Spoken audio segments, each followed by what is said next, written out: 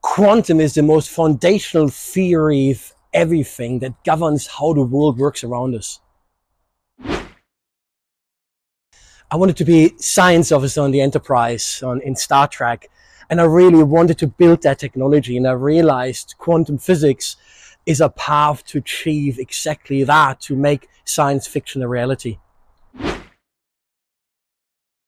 So here at Sussex, we've made some breakthroughs that enable the construction of large-scale quantum computers powerful enough to solve some of the most important problems we know. For example, to create new pharmaceuticals, to make aircraft engines more efficient, to reduce energy consumption around the world. And we invented ways how to build a quantum computer in such a way that making use of microwave technology, we can build a real world machine right now.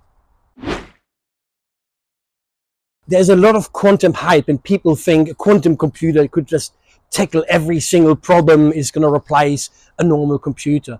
A quantum computer is not going to replace normal computers, but a quantum computer is a new type of machine that will enable us to tackle extremely hard problems that you couldn't tackle any other way.